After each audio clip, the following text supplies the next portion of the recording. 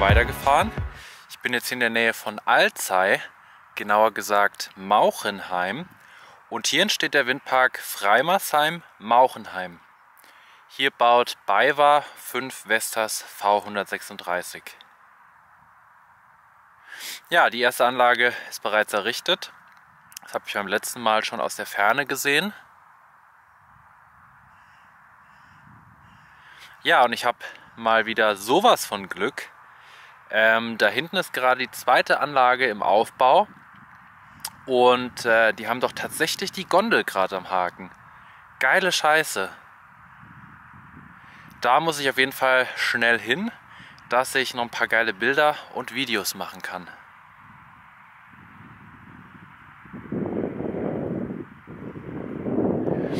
Ja, ich bin jetzt quasi einmal im Kreis gefahren, damit ich die Sonne im Rücken habe.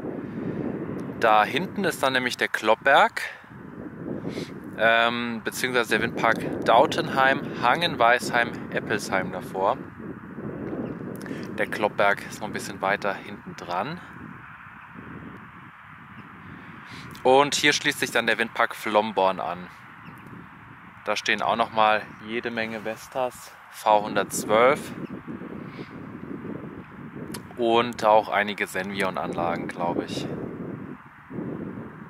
Ja, da stehen auch noch Senvion. 3.2 M 114, glaube ich. Der Rest ist alles V112.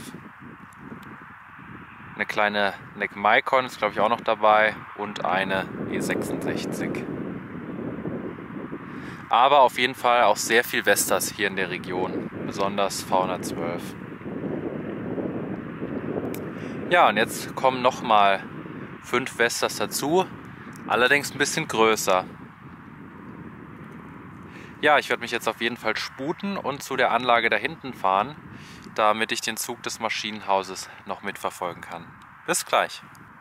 So, jetzt bin ich noch mal ein Stück näher dran. Mann, habe ich aber auch echt ein verdammtes Glück, dass wir jetzt gerade das Maschinenhaus ziehen. Geil. Ja, ist auch mal cool, den Turm in voller Größe zu sehen, ohne Rotor oben drauf. Ja, das geht jetzt echt super langsam. Ich könnte mir vorstellen, dass es halt erstens super schwer ist, aber auch wahrscheinlich sehr windanfällig. Ja, Projektierer, ich habe es ja schon gesagt, ist die BayWa aus München. Ja, das ist jetzt quasi nur das Maschinenhaus. Generator und äh, Getriebe kommen dann in einem separaten Schritt.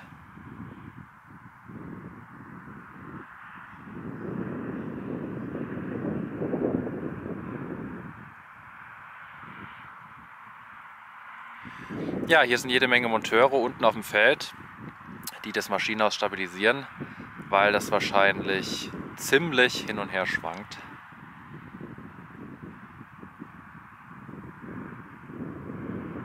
Und es geht jetzt echt im Schneckentempo nach oben.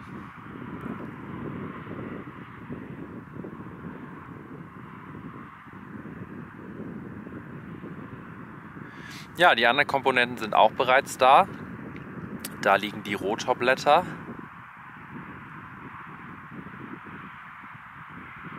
Da ist die Narbe. Ja, und blau eingepackt ist dann der Generator bzw. Getriebe.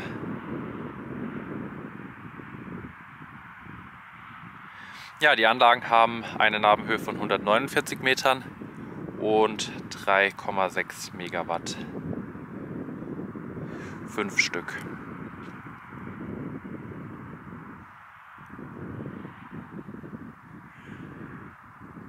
Ja, hier ist die bereits fertig errichtete Anlage. Die steht schon äh, seit zwei Wochen, glaube ich. An dem Wochenende, als ich mein Fahrrad geschrottet habe, äh, in dem Video von Mainz. Ähm, wenn man in diese Richtung hier blickt, äh, sieht man die Anlage schon hinten am Horizont.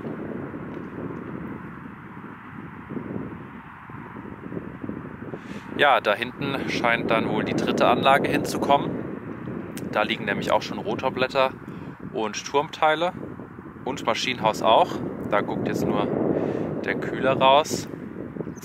Sehr geil.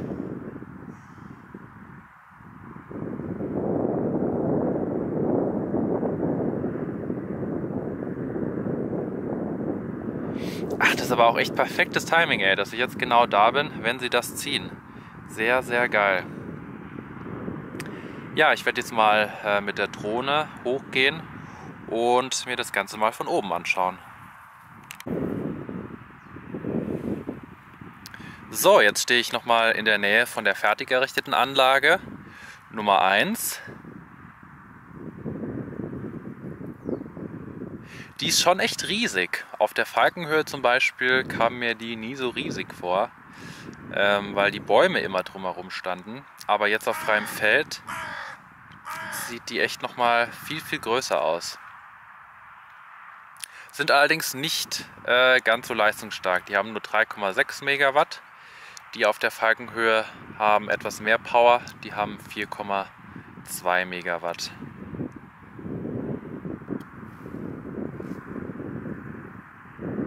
Ja, angeblich sollten ja alle Anlagen schon bis Ende Februar fertig sein äh, und sogar schon in Betrieb sein. Äh, das wird wohl eher nix. Also die letzten Wochen war ja echt schwierig mit Sturm. Da hatte ich jetzt echt Glück, dass sie heute überhaupt was gezogen haben. Ja, Maschinenhaus scheint oben zu sein.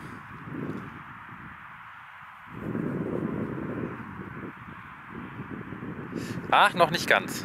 Ich glaube, es taumelt noch so ein bisschen, oder? Na, ich glaube, es ist schon oben ja, das schaue ich mir auf jeden Fall gleich auch noch mal aus der Nähe an.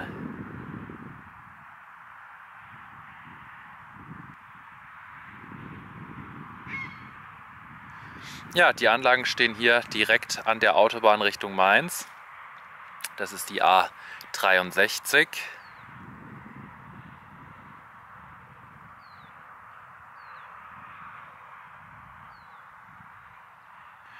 Ja, hier hinten sieht man jetzt nochmal schön den Windpark Flomborn. Mit den ganzen Vestas-Anlagen.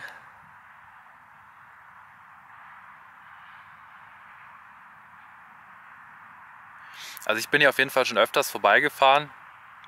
Ähm, Kenne auch den Windpark Flomborn von der Autobahn aus. Ähm, ja, von hier aus kann man den Aufbau schön von der Autobahn aus verfolgen.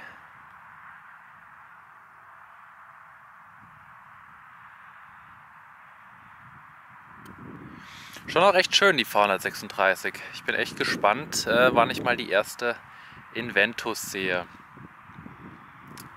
Die Narbe kommt mir auch so ein bisschen, äh, die sieht irgendwie so ein bisschen anders aus, finde ich. Irgendwie so ein bisschen rundlicher. Sieht fast schon aus wie die Inventus-Narbe. Naja, ich werde jetzt mal weiterfahren und gucken, was es noch so für Komponenten zu entdecken gibt. Äh, sonst muss ich mich wieder zu sehr beeilen für auf den Zug.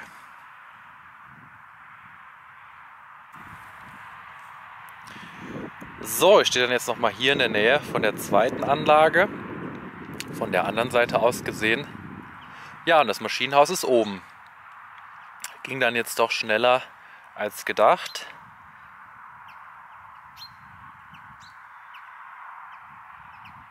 Ja, bis der Kran sich lösen kann, das wird jetzt noch ein Weilchen dauern, bis alles verschraubt ist, schätze ich. Ja, beim Vergleich zum Maschinenhaus von der E138 zum Beispiel ging es dann doch relativ langsam. Also das habe ich auch schon mal beobachtet und das ging relativ schnell.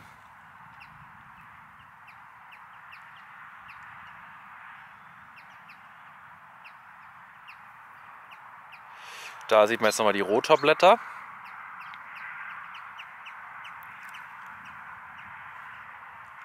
Da liegt die Narbe.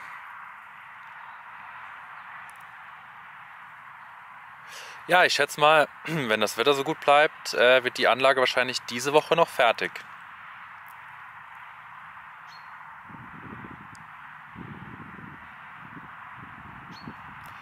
Da sieht man jetzt nochmal die Baustelle von Anlage 3. Da sind auch schon alle Komponenten da und auch zusammengebaut.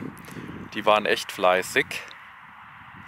Ja, und da hinten äh, scheint dann die vierte und die fünfte Anlage hinzukommen. Auch schon alles da. Krass.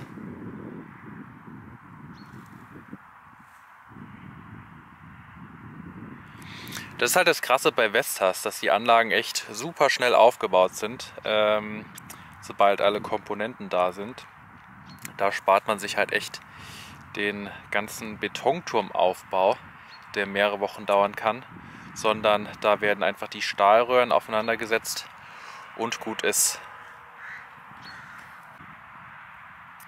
So, jetzt stehe ich hier nochmal an der Baustelle von der vierten Anlage. Komponenten sind soweit alle da und vormontiert. Hier drüben ist das Fundament. Da steht sie dann später. Da ist auch schon die Treppe, die vorne an den Turm dran kommt. Ja, und hier liegt die Gondel. Kühler ist schon montiert. Und hier liegt die Narbe.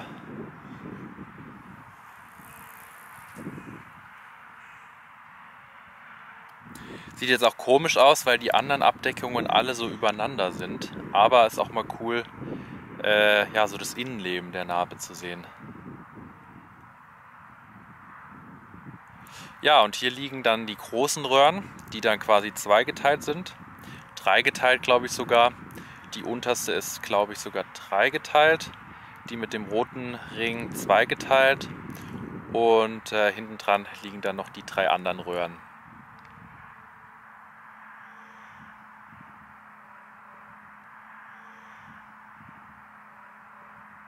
Ja, hier sieht man es auch wieder. Hier sind auch wieder jede Menge Windräder auf dieser Seite.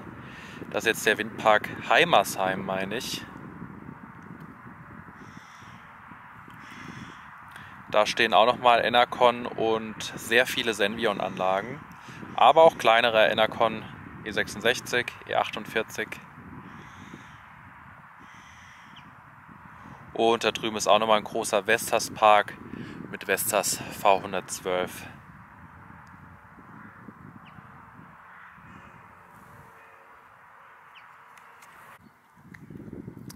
So, hier sieht man die Gondel nochmal schön von nahem. Ähm, Habe ich jetzt auch noch nie so nah gesehen. Schon echt ein fettes Teil. Und dieser Kühler oben drauf ist echt gewaltig. Logo ist jetzt noch keins drauf. Kommt wahrscheinlich später drauf. Es wird wahrscheinlich draufgeklebt. Ja, aber das Maschinenhaus ist irgendwie gar nicht so lange. Hätte ich mir jetzt irgendwie länger vorgestellt. Wenn ich mir da das neue Maschinenhaus von der Inventus so anschaue, das ist ja echt Wahnsinn, wie lang das ist. Das ist noch mal länger. Ja, und hier blau eingepackt sind dann äh, das Getriebe und der Generator. Ich bin mir jetzt gar nicht hundertprozentig sicher, was hier eigentlich alles drin ist. Äh, korrigiert mich, wenn ich falsch liege, aber ich bin mir relativ sicher, dass es Getriebe, äh, Generator, ja, Transformator, sowas ist. Ja, und hier hinten ist dann die Baustelle für die fünfte Anlage. Da sieht man es jetzt. Da sind auch schon alle Komponenten da. Alles schon fertig zusammengebaut. Da waren sie echt fleißig.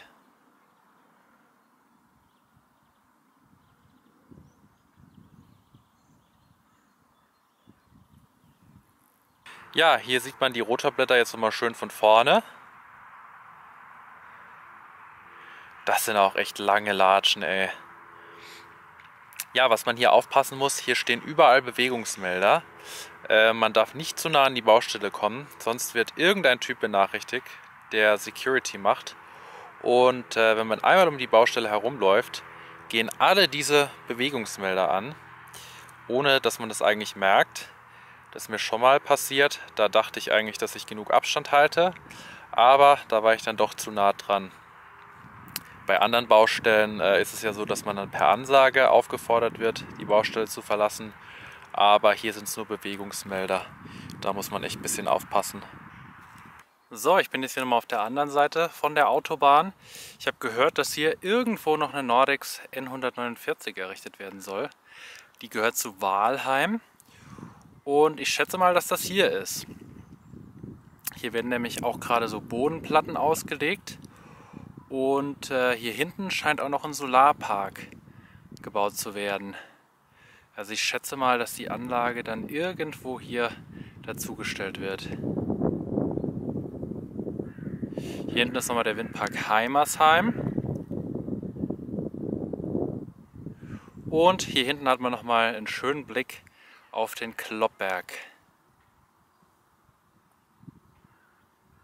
Und den Windpark Dautenheim, Hangenweisheim, Eppelsheim. Ja, ich werde mich dann an dieser Stelle verabschieden. Ich muss mich leider ein bisschen beeilen, dass ich meinen Zug erwische. Im Anschluss noch mal ein kleines Drohnenvideo. Viel Spaß damit und bis zum nächsten Mal.